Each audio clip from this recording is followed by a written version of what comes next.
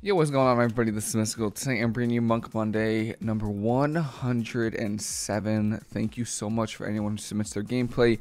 For those of you who don't know what this is, you send any gameplay you have to this email right here, and I critique it, I review it, I do anything to help you improve at the game. I think the best way, or one of the best ways to improve at in PvP and PvE is to have your gameplay recorded and you watch over it, or if somebody else can watch over it, uh, look over it, then they can too and I take anything. I take PvP, I take PvE, Mistweaver, Windwalker. It doesn't matter. I've done RBGs, twos, threes, Mythic Plus. I haven't done a raid yet, but if anyone has any any gameplay at all that's monk related, please send it to me. Please do.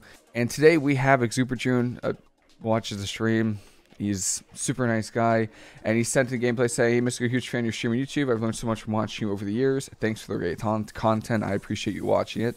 I'm glad. I, I really am. Um, we actually did a Monk Monday critique. I do remember in 2019. I do remember doing one for you. I think it was BFA. I'm not sure if you're allowed submissions of people have already critiqued. I would I would critique the same person 30 times in a row if that was the only one that submitted. So if you do want to submit your gameplay again, please like I, I don't care. I love these are my favorite types of videos. Um, I'll do in 2100 MMR for Future Monk Monday. Only two of the three games are actual losses. The first game is a win, but I want I would love your critiquing anyway, as I'm sure there's still plenty I could have done better. And B, I think you'll have some particularly unique insight into that game. I'm not sure what that means yet, but okay. Um, FYI, since I'm not sure if it's obvious in the videos, I'm Venthyr. Venthyr is good. I like Venthyr. I mean, in twos, it's okay. It's I think it's pretty similar to to Necrolord, but in threes, I don't think Venthyr is better. All three games are Soulbind Draven. I swap between that and Nadjia depending on the comp, and my Legos Clouded Focus and Unity. Thanks, Zubtune. Yo, thank you so much, man. Um, yeah, let's get into it. I actually, you know what's funny is I actually don't use either. I don't use Draven or Nadjia for either of those Soulbinds. I use Theotar for the extra versatility. So it looks like we're playing Ring of Peace, Mistweaver, Fury Warrior, Peace Weaver, Eminence, Disarm is pretty good. Um, you could draw Peace Weaver in my opinion. So the reason I run Peace Weaver versus Fury Warriors is if they play with like a Holy Priest or a Disc Priest because they have Boon, which is a Kyrian spell that does a ton of damage. So uh, that's why I run Peace Weaver versus Fury Warriors versus Mistweaver Fury. You could probably drop Peace Weaver and go with um, Chrysalis, even Zen Focus Tea if you don't want to get kicked. So one of those is good.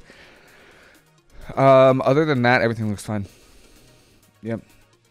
So playing uh, Mistweaver Demon Hunter. Oh, this is actually me and my ult. Holy cow! This was from a minute. This was a minute ago. This was what last month. Holy cow! Okay. Let's see what we got here. Oh yeah, this was Roxy too. All right, so you just port instantly, which is fine. Uh, Conqueror's banner gets stopped with the ROP. He ring he uh, what we call it? He uh, blade storms right through it, which is really annoying. Uh, Mana Tea, and we're just getting we're just getting hot out, which is perfectly fine. And I don't know if we have mobility or not. Your Demon Hunter is I think was hitting me most of the game, but swap it over to you now. I mean, we're doing a pretty good job. Incap there, it's gonna get broken.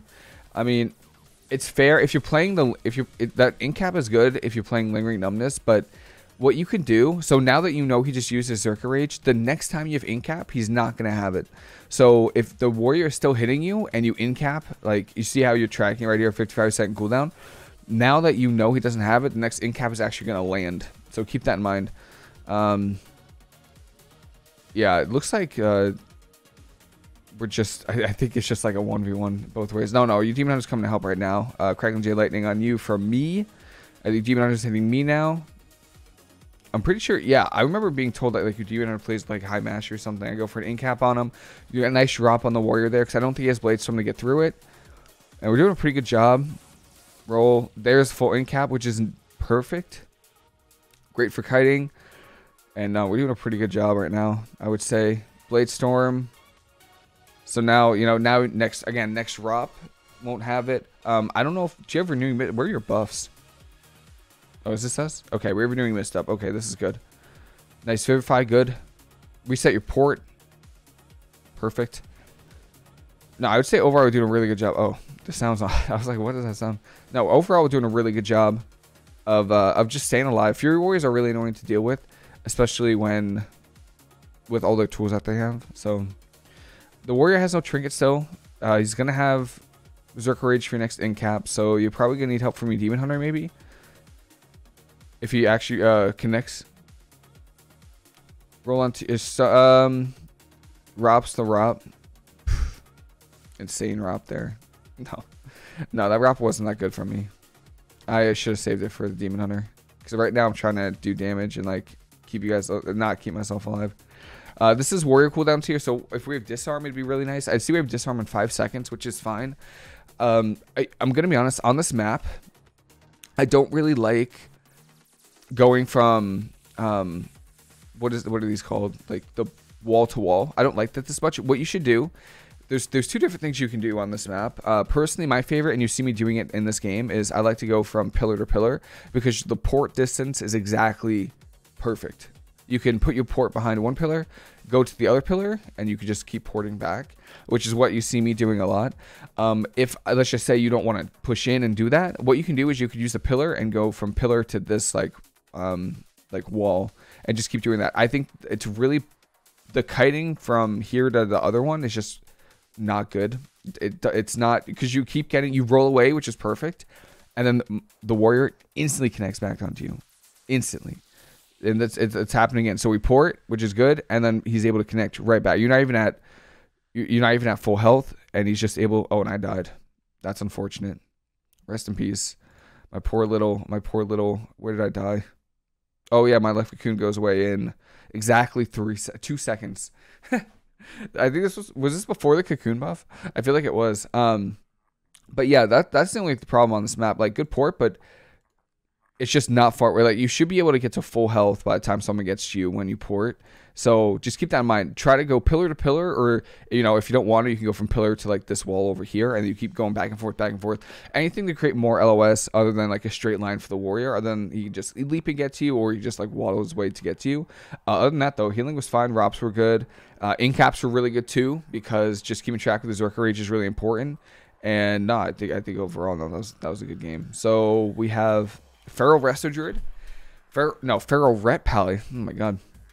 Um, this arm might be good versus Pally. I think you're better off playing Peace Weaver, Eminence, Disarm, or probably probably those three. I think that's just good, but we'll see. Could run Zen Focus Tea in case they try to run you. Seraphim is active, so he's just trying to do damage right now. Spinning Kick to try to get the Feral out, which is fine. Blur from your Demon Hunter instantly, which is good. We're stacked on top of a port, so be careful. That's leg sweep from the Feral Druid. So it, just be careful, uh, because obviously they're trying to all in on you. And we're, yeah, we're on our port. Okay. No, I think we're good. Nice in cap. Feral has no trinket. We're doing a great job. No, yeah, we're up there. Chasing after the Ret Pally. Maybe, I mean, yeah, Ret's probably easier to kill. Yeah, Ret's probably easier to kill. I don't know if we have port. So we're a little scared right now. We don't have revival or fort brew. As long as we have Trinket Cocoon, we should be okay. But we have renewing mist. Do we have renewing mist ourselves? Yeah, we do. Okay. Yeah, we're looking pretty good right now. Um, we just need to connect. In twos, damage is the only thing that matters. So if your Demon Hunter can't hit the Ret Pally, just hit the Feral Druid. Looks like the Feral is just going to try to spam you. Now's a really good time to go for CC on the Druid. Nice. Okay, he opens on you, goes port the Cyclone, which is awesome. Now they can go use. So just you need to be a little bit more careful now because now they can hit you, which is the downside of like our port is like you avoid it for CC, but now they can they can definitely kill you if they wanted to. That's cocoon from us, uh, and diffuse magic. So, I mean, I think you had to, and your demon hunter's blur is gonna be down soon. Uh, I don't think uh, we got Pally Bubble though, didn't we? Uh, if we can get, if we, nice. DR in cap is, is fine, I think. Careful though. Yeah, I don't think you're going to live this. Yeah, that's a that's tough because you use your mobility. It sucks because you use your mobility to avoid a cyclone and then you just get punished for it. I think oh, first of all, I would not use these stairs. I think are the worst place to be. I actually think it's awful uh, playing up top. You should have your port up top for sure but uh, but have your DPS play bottom, and if they try to hit you, just jump down, port up, and then roll. So, what I mean is, like, playing up here is just it, it, it you, you can't line anything right? Like it's just an open it's just an open area. They just can free hit whoever they want. As opposed to down below where your demon hunter can kite if you're in cc you can kite a lot easier if you're in trouble um, so and then you could like port from one side to the other which is really good too. So i think this is just a positioning game because i think you got every cooldown that they had. Um, but make sure but so i would recommend just playing bottom here, not up top here, because it happens where you demon hunter now gets swapped too, and you know you need to like go up now and push into this team, and you don't want to do that. Unless your demon hunter, unless you play it way over here and then your demon hunter plays on the stairs. That way you you far away, and you can heal from far away. Um, I would not recommend because then we push in and then we just instantly die. So that's the only thing I would recommend is positioning on this ma this map. I think overall you rotate your cooldowns fine, and uh, it was just unfortunate. Actually, we had Zen Focus Tea here. Now that I see it, we have we have Zen Focus Tea Probably we also have Revival in, right now, so we have cooldowns. We just got kicked. So that's another thing. I have that problem too. You know, sometimes I don't want to play press Zen Focus Tea, even though I know I should. So you have Zen Focus Tea and Revival here. Um, but most importantly, it's just positioning. I would play down, keep your port like on the side of the pillar, just make it easier to kite. Because they're really you can't feral druids are really hard to kite. Um, Holy Priest Fury Warrior. This is gonna be a good one. Um, disarm's really good. Oh, we're playing Resonator. Okay. Um, disarm's really good versus Fury Warrior. Probably play Healing Elixirs just because I don't have much. and I would probably play. What else did you play? Let me see. Peace Weaver, Disarm, Eminence. Yeah. I actually don't play Eminence versus Fury Warriors because they don't play they don't have stun most of the time. They play Impending Victory, which is their Stormbolt. Um so most of the time I just drop Eminence for like Chrysalis. And we're probably gonna start doing that too once the uh Chrysalis change goes through. so yeah, just keep that in mind. Sometimes they just play Impending Victory and you don't have to you don't. There's no reason for eminence, but I guess the shorter cooldown on port is nice too. But you just if you position far enough away, they really struggle to get to you. All right. Were Holy Priest, I feel like your kill target is if you can honestly, if your Demon Hunter can hit the Holy Priest and cleave both of them, that's probably ideal. Um, like what the strategy should be is if the warrior is hitting your demon hunter, have your demon hunter hit the priest because then your your demon hunter can hit the warrior and the priest at the same time. If the warrior is hitting you, I think the the demon hunter just stays on the priest or the the, the uh, warrior. Dare incap is fine. Leg sweep there is good. Warrior's taking a lot of damage. This is recklessness. So if you have disarm, I would probably press it just because it's a lot of damage. Um, I know it's blur and meta. Disarm, potentially. Nice. Oh, your Demon Hunter gets disarmed. And that's also GS2 on your Demon Hunter. So this is this is looking pretty good for you. Um, you have Renewing Mist, Enveloping Mist on your Demon Hunter, good. There's just times like this where if you just want to cocoon, you can. Um, or at least you're going to be able to when uh, when the new changes happen. Because you just want to be able to rotate your cooldowns a little bit better. Seg now. Oh, it actually breaks it. Oh, we're cheating. No, no, we're cheating Cocoon. Okay. We're not playing Chrysalis. Alright. I'll keep that in mind.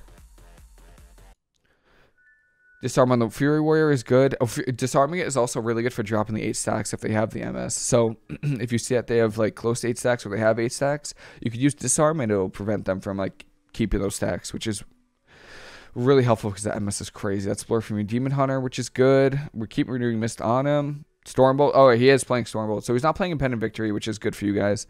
Blur. I would still recommend probably hitting the Holy Priest just because you get Cleave. Oh. All right. I thought we were going to. Uh, Blade Storm gets a Recklessness proc, so he's just going to be doing some damage. Incap here. I actually play Song of Chi-Ji versus this comp. Yeah, I, I play Song of Chi-Ji for Incap Song. Darkness from a Demon Hunter. Oh my god. Uh, Mind Games. It gets killed, man. Huh. I I honestly oh hello. I don't even see that. I I actually think that you need to pressure the priest a lot more just because he, the priest just free casting heal, which is keeping his mana up and he's just smiting to get his his chastise back. Also, one thing is right here. Where is it? Where is it? Where are you? Right here. I think it's after the sphere. Where the warrior uses... Uh, where is it? Conqueror's banners up and everything. I think he gets a lot of pressure. I don't even know when we disarm, actually. Let me see when we disarm. Are we playing disarm? I don't see disarm. I thought I saw disarm here in one of the last games. But I don't see disarm. Hmm. I don't know if we're playing disarm or not, but one of the best times to do it would be like right, you know, after this blade storm probably or like a little bit before it. And then also these situations right here. I know there's no more cooldowns left, but it's twos. The game's gonna go on for a long time. Your demon hunter's gonna have blur back really soon. You could just press life cocoon, and that way you don't have to waste trinket. Um, that's what I tend to do, especially with the apotheosis up. So when holy priests use apotheosis, they get their chastise back, which is really annoying. So that means even though you got chastised like I don't know 20 30 seconds ago, you can get chastised again. So if I see mind games or if I see like you know, him pushing in, I'd probably just go for a cocoon here, especially since your teammate is at like 50% health. So that's the only thing I would say. I don't think anything anything else really was wrong this game because I feel like we are doing fine. I think there needs to be a little bit more pressure on the priest because you could just do so much more damage. Um, your demon hunter, I don't know if he's doing like some kind of single target build. I don't know, but if you're if the warrior is hitting your demon hunter, just hit the priest. Um, that way you hit both at the same time. Um, they'll get cleaved down way faster, and, and, the priest will probably freak out and make a mistake. So keep that in mind. We have hots here though, which I'm, I'm actually maybe we go for oh we go for an in cap here, but I don't think it. Well, no, I don't think it's that big a deal. Yeah, maybe in cap. We try to go for a leg sweep, and our and our demon hunter is at like fifty percent. Uh, yeah, definitely focus on healing uh, for sure. Usually, like if I ever want to go for CC and be a little bit aggressive, I'll actually just cocoon. I know you don't have it, but like if I'm ever in this situation, I'll normally just cocoon my DPS on the off chance that they do try to trinket my CC and then CC me. That's normally what I'll do. But I would say most importantly, make sure you keep your DPS healthy before going in for crowd control because it's like a few globals where you know, you know, you're not healing, so. Uh, a little bit. I mean, darkness could have come out sooner, but we have revival too. It's like right there. I mean, honestly, you're like right there. Um, we also have Yu'lon too. Oh, there's disarm. I see disarm now. Where is it? Okay, no, we uh, when do we disarm? Disarm now? Oh, with reckless. Okay, that's good disarm. That's good disarm. It's also on his frenzy regeneration, so we actually got a little bit of pressure. Yeah, no, that was good. Fallen Monk too, or using your Fallen Order there is really good. Um, it's just unfortunate. Actually, almost if touch death worked and you were close, you could probably have got it. But overall, I think this game wasn't that bad. You got hot, you were healing fine. It's just unfortunate that like we didn't get the cocoon and then we had to trinket. It it sucks, and then darkness wasn't good enough. So overall, though, man, the, the games were good. The games were good. This first one was really good. Really good kiting. Um, really good job with incapping with rec, um, with uh, Zerker Rage, so that you know every other one you can you can get the, they get the full CC. Great robs, great kiting. Try to use the pillar, pillar, like pillar to pillar, or like pillar to like these like boards, just because it, it makes it way more difficult for melee to get to you. This one was just positioning. I think you would have won if you guys played bottom um, just because it's easier for you to kite, and then the stairs are really awkward. It, I actually get really annoyed when my teammates like go up on the stairs because if I have to push in, I can easily get swapped to. So keep that in mind. I don't think um, the stairs are up top are worth it. Maybe put your port up here, but outside of that, don't play up top. And then this last one, there really were any mistakes. Um, the only one was pre-cocooning a go, and that's just how it is sometimes when we play Mistweaver. I mean, and then your Demon Hunter barely didn't live your until you like you had revival. It was literally your six percent. It's literally right there, like that second you get out of CC. So I, I you're so close to living. This game was fine. Um, yeah, no, I, I don't have any problem. Maybe before CC you could have went for a disarm. That's probably what I I would have personally done if you have. oh, you don't even have disarm. All right, never mind yeah, the only thing you could have done is if you had life cocoon, like pre life cocoon, and then go go for CC. But you can't predict the trinket on the encampment to fear. So yeah, just make sure when you're going for CC, your teammates are healthy because this happens and it's really annoying when it does. Trust me, I've been there a few times. So yeah, hopefully this was helpful for you. Hopefully helpful for anybody that's watching. I appreciate anyone that watches these and that's pretty much it for me. I hope everyone's a fantastic rest of the day. Hope you enjoyed the video. I'll see you later.